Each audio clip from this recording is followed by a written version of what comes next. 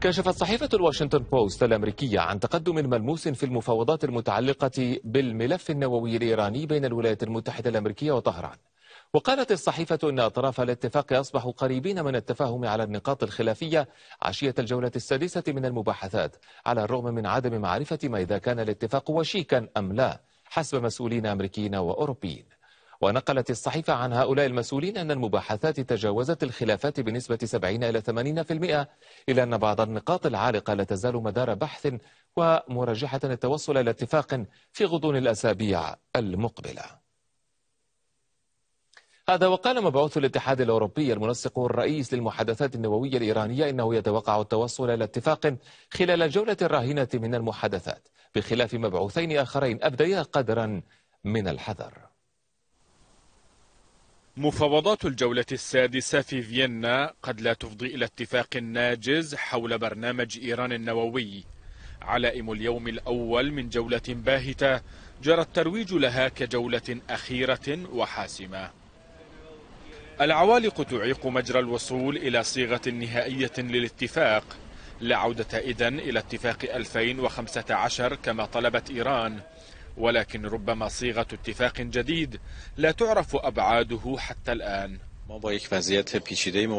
نواجه وضعا معقدا بسبب وجود بعض القضايا القانونية والسياسية والتقنية المتعلقة بعودة أمريكا إلى الاتفاق النووي. وأيضا بعض القضايا المتعلقة بتحقق إيران من رفع أمريكا للعقوبات وهذا أمر يحتاج إلى تخطيط وتحديد معايير. تشاؤم الجانب الإيراني لم يلغي بعض تفاؤل لدى الأوروبيين. إذ الحديث في العموم عن قضايا عالقة يجري تذليلها. أهمها كيف يتم تنفيذ خطوات الاتفاق. E سيواصل الاتحاد الأوروبي المحادثات مع جميع المشاركين في خطة العمل الشاملة المشتركة وبشكل منفصل مع الولايات المتحدة الأمريكية لإيجاد سبل للاقتراب من اتفاق نهائي في الأيام المقبلة. يقول مراقبون إن تلكؤ مختلف الأطراف عن إنجاز الاتفاق ربما يرتبط بانتظار نتائج الانتخابات الإيرانية خلال أيام. أيام سيذهب فيها الرئيس الإيراني حسن روحاني ليحل مكانه وجه جديد. قد يحسب له إنجاز اتفاق يعيد طهران إلى أسواق النفط العالمية.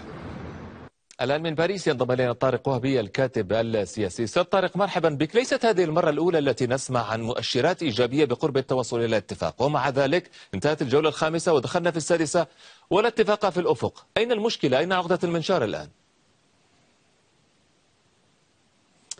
مساء الخير يا سيدي. واضح من كل ما يحصل الآن أن هناك ما يسمى بالميزان. الربح والخسارة لكل من الأطراف. أهم هذه الأطراف هي إيران والولايات المتحدة الأمريكية. إيران تبحث عن آه، بالتحديد ما قاله التقرير في نهاية التقرير عن ما يسمى أسواق النفط. والولايات المتحدة الأمريكية تبحث أيضا عن عودة إلى هذا الاتفاق لكي يكون لها وطأ قدم بما سيحصل لاحقا. وما كان قد طلبه الرئيس ترامب وليس الرئيس بايدن بمعنى أن تريد حقيقة الاستمرار بمواضيع مهمة. أهمها هو ما يسمى يعني الخروج الإيراني من أرضه بمعنى الأذرع إيران الخارجية والصواريخ البالستية. ولكن الأهم مما يحدث الآن هو كيفية الآلية التي ستحصل فيها إيران على الأموال التي لم تحصل عليها أبدا الآن بمبيع النفط. وثاني آه، آه، يعني البند الثاني هو إلى أي مدى الولايات المتحدة الأمريكية تستطيع أن تقنع الأطراف الآخرين وبالتحديد الصين وروسيا أنها يعني ستدخل باتفاق له علاقة بأفق جديد يبحث من جديد بالقرار 2231 الذي هو القرار المؤسس لهذا الاتفاق والدعوة لكي توقف إيران كل ما يسمى النشاطات النووية وهذا يدعم ما يحصل الآن داخل الوكالة آه، آه، آه، الدولية للطاقة الذرية بأن تكون هذه الوكالة هي الضامن الوحيد في كل ما يحصل على الأرض في المواقع النووية في إيران. النقاط التي تفضلت بها كانت مطروحة عفوا كانت مطروحة على مدى جولات مختلفة خمس جولات. الآن نحن في السادسة. ما الذي يضمن؟ هل هناك من ضامن بأنه الآن في هذه الجولة قد يتم الاتفاق عليها. هل من مؤشرات معينة بدل تصريحات فقط؟ الإيرانيون بحاجة لأموال. الاقتصاد الإيراني في الأرض.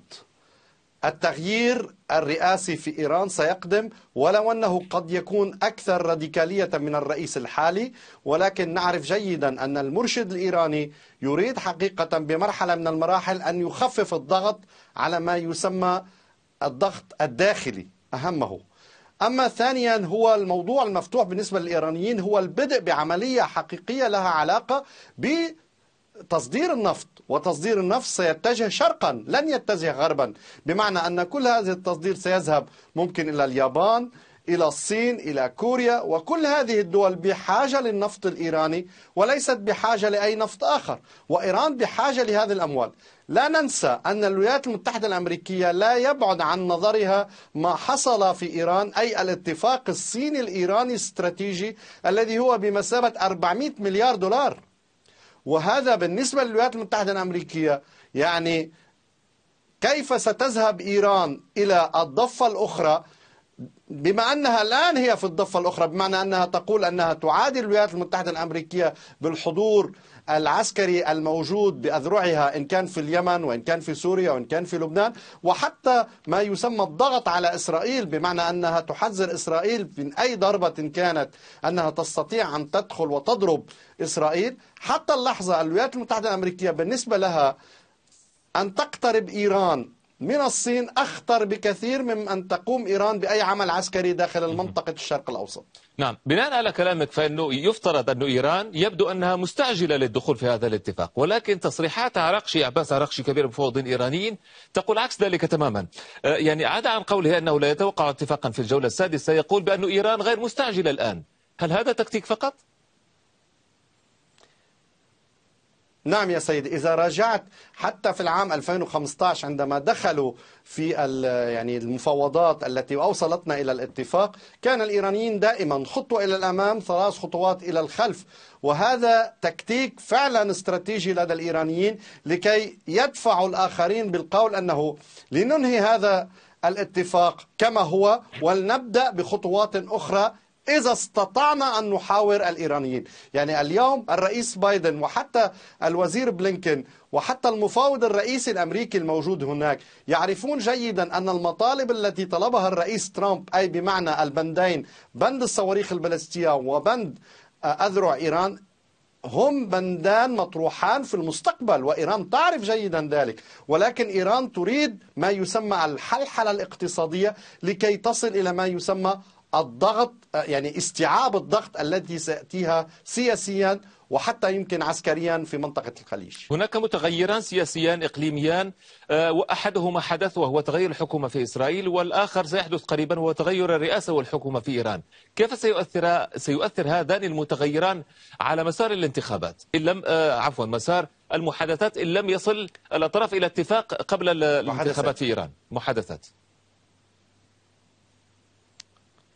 أنا باعتقادي آه، آه، التغير الإسرائيلي هو تغير داخلي مهم له علاقة بإزاحة آه، نتنياهو عن الحكم.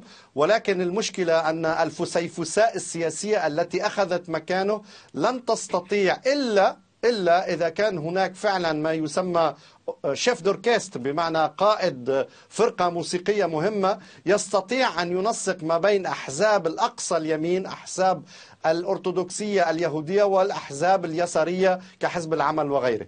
وأنا باعتقادي هناك مشكلة كبرى في إسرائيل لها علاقة ب الحاكم والحوكمة. بمعنى أن آه، آه، نعرف جيدا أن نتنياهو دخل بموضوع قضائي له علاقة بالفساد داخل حكومته وحتى هو بالنسبة له كان هناك ولا يزال آه، قضية قضائية ضده في هذا الموضوع. إذا الحكومة ستبدأ فقط في هذا الموضوع علما أن التعاطي الخارجي لإسرائيل دائما هو يعني آه، مغلف تحت ما يسمى الإطار الأمريكي. بمعنى أن أمريكا هي التي تحمي هذا الغطاء الخارجي ولا أعتقد أن الإسرائيليين من هذا الموضوع خائفون أبدا.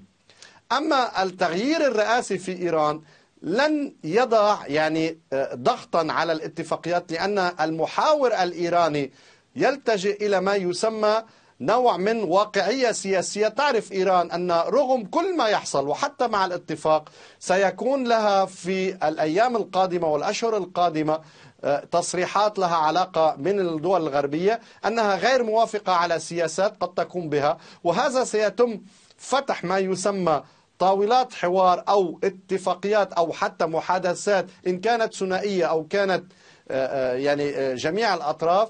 والعودة إلى ما يسمى القول لإيران أهم شيء هو الالتزام بالبنود التي لها علاقة بالتخصيب. نعرف جيدا أنها تخطت هذا التخصيب وهي الآن يعني تتخط خطت التخصيب اليورانيوم وحتى أيضا البلوتونيوم يعني ليس فقط اليورانيوم. وهذه خطورة.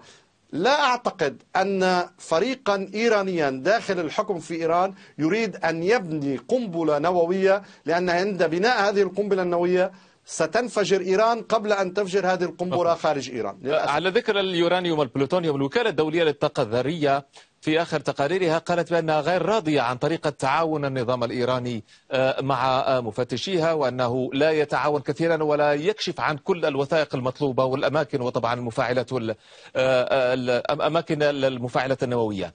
لذلك أسألك هل يتم استغلال تقارير الأمم الوكالة الدولية للطاقة الذرية بشكل يتم الضغط به على إيران من قبل الأطراف الأخرى وتحدث عن الولايات المتحدة أساسا ومن خلفها إسرائيل؟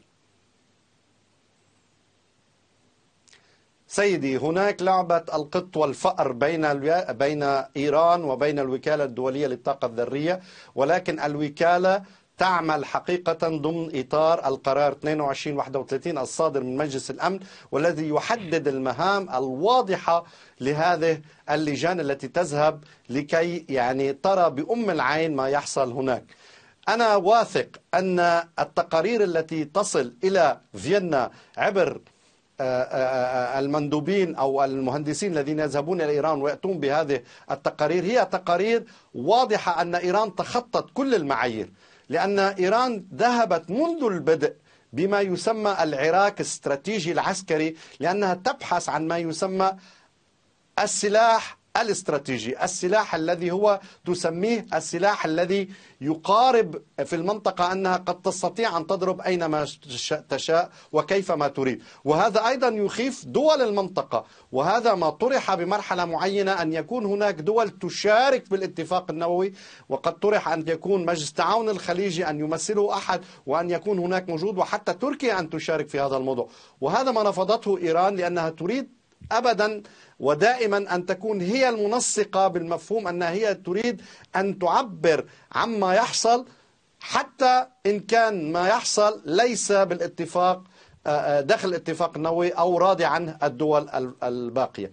فقط للقول أن حاليا الوكالة تساعد بمفهوم حتى للإيرانيين آه، بتنظيم بعض الشؤون ما يسمى العلمية والتقنية. بمعنى أنهم في بعض الأماكن هناك تقنيات باكستانية وتقنيات كوريا الشمالية وتقنيات حتى صينية إلى روسية بموضوع التخصيب آه، تريد الوكالة أن تقول أن هناك بعض المواضيع التي تستطيع أن تستفيد منها إيران. منها ليس فقط بموضوع الرقابة والموضوع العلمي فقط لاستعمالها لأهداف لها علاقة بإنتاج الطاقة الكهربائية أو حتى بالموضوع الذي له علاقة باستعدام باستعمال عفوا الطاقة الموضوع النووي إلى الصحة. نعم شكرا جزيلا لك طارق وهبي الكاتب السياسي من العاصمة الفرنسية باريس.